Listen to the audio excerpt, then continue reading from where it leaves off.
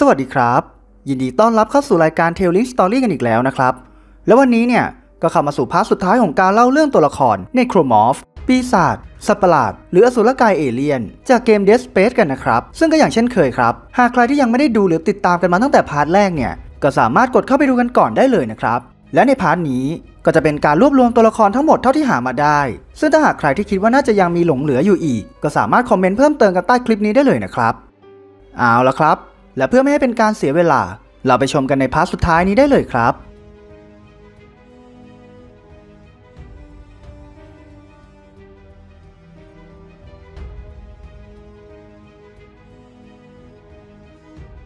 36. Slinger Slinger เป็นต้นแบบ Necromorph ที่พัฒนาเป็นครั้งแรกในเกม Dead Space เนื่องจากว่าข้อจำกัดด้านเวลาและงบประมาณ มันจะถูกออกแบบมาให้มีแขนและขาเฉพาะตัว รวมไปถึงหางของมันด้วย แต่มันก็ยังเป็นอสุรกายที่สู้ได้อย่างสูสี ไม่น้อยเลยทีเดียวนะ เนื่องจากว่าความสามารถพิเศษของมัน สามารถคายกรดที่กัดกร่อนออกจากถุง ที่อยู่ในลำคอของมันได้ ซึ่งก็น่าจะเป็นจุดอ่อนด้วยเช่นกันครับ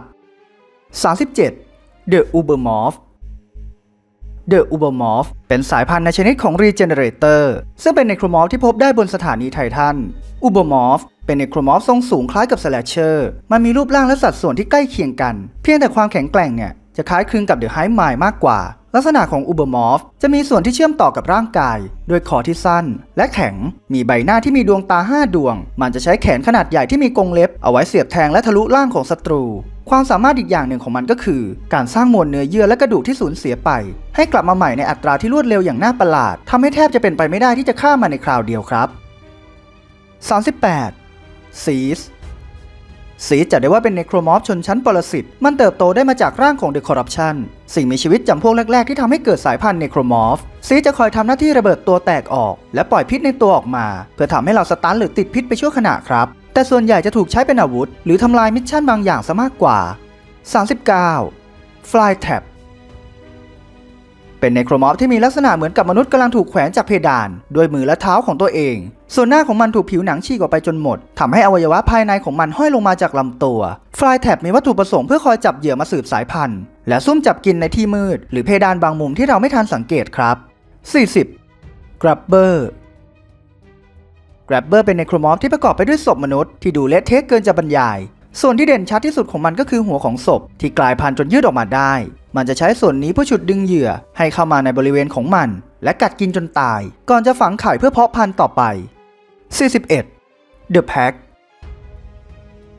พูดง่ายๆก็คือเนโครมอฟร่างเด็กที่ขาวซีดและมีกรงเล็บเอาไว้ไล่ล่าเหยื่อ มันไม่ต่างอะไรกับซอมบี้เด็กที่หิวกระหาย แม้ว่าร่างกายจะเป็นเด็กน้อยก็ตาม แต่สัญชาตญาณของการออกล่าและจู่โจม ก็เหมือนราวกับสัตว์ป่ายังไงอย่างนั้น แต่ถึงอย่างนั้นแล้วเนี่ยเดอะแพ็กก็ยังมีความเปราะบางอยู่บ้าง และแพ้ลูกกระสุนแรงๆ หรือปืนจำพวกไฟฟ้าครับ 42. The Snow Beast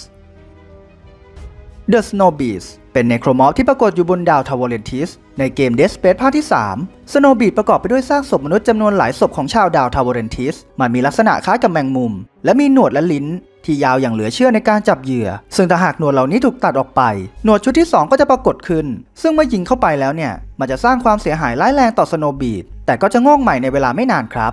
ฉะนั้นการฆ่ามันจึงเป็นอะไรที่รับมือยากพอสมควร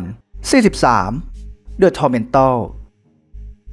The Tormentor เป็นเนโครมอฟขนาดมหึมาที่มีลำตัวเรียวยาว และมีแขนขาที่ยาวมากๆ ร่างกายของมันประกอบไปด้วยเศษกระดูกที่งอกออกมาบริเวณผิวหนัง ซึ่งทำหน้าที่เป็นเกราะที่ทนทาน แม้แต่อาวุธหนักก็ไม่สามารถทำอะไรได้ ปลายคอของมันจะมีความยืดหยุ่นในการโฉบกินเหยื่อ ซึ่งส่วนหัวของมันก็คือหัวมนุษย์ ที่มันผสมร่างเข้าด้วยกันนั่นเอง โดยเราจะเห็นมันได้ใน Dead Space ภาคที่ 2 บนสถานีไททันครับ 44. Wheezer Wheezer เป็น Necromorph รูปแบบหนึ่ง ที่มีการหายใจออกเป็นก๊าซพิษ พวกมันมีรูปร่างคล้ายกับมนุษย์มากกว่า Necromorph สายพันธุ์อื่นๆ แต่จะยกเว้นปอดและหลัง ที่มีขนาดผิดปกติมากกว่ามนุษย์หลายเท่า Wheezer จะคอยคุกเข่าอยู่ตลอดเวลาไม่ไปไหน เนื่องจากว่ามันขยับตัวได้ลำบาก เพราะแขนและขาถูกหลอมรวมติดเข้าด้วยกัน มันจึงทำได้แค่แย่งชิงอากาศและผลิตก๊าซพิษได้เท่านั้นครับ 45. Twitcher พูดง่ายๆก็คือเวอร์ชันพิเศษของ Slasher เราจะได้พบครั้งแรกในซากปรักหักพังของยาน Ishimura และ Aegis Seven มันมีความต่างจาก Slasher ตรงที่มีกรงเล็บใหญ่กว่า ผิวซีดกว่า และมีร่างกายที่หนากว่ามาก รวมไปถึงความแข็งแกร่งด้วยครับ และทั้งหมดนี้ก็เป็น Necromorph ทั้งหมดในเกม Dead Space ที่ผมหามาได้นะครับ ยังไงแล้ว หากใครที่คิดว่ายังมีตัวไหนเหลืออยู่ หรือผมพูดขาดตกตัวไหนไป ก็ช่วยกันคอมเมนต์บอกกันหน่อยนะครับ จะขอบคุณมากๆเลย และเช่นเคยครับ หากใครที่ชอบคลิปอะไรแบบนี้ ก็ขออย่าลืมกดไลค์ กด Subscribe กดกระดิ่ง เพื่อที่จะได้ไม่พลาดคลิปดีๆ แบบนี้ไปอีกนะครับ และคลิปหน้าเราจะเอาเรื่องอะไร มานำเสนอให้คุณผู้ชม ได้ดูกันอีก โปรดติดตามชมกันได้ ใน Telling Story เรื่องเหล่านี้มีอยู่ว่า คลิปนี้เราขอลาไปก่อน สวัสดีครับ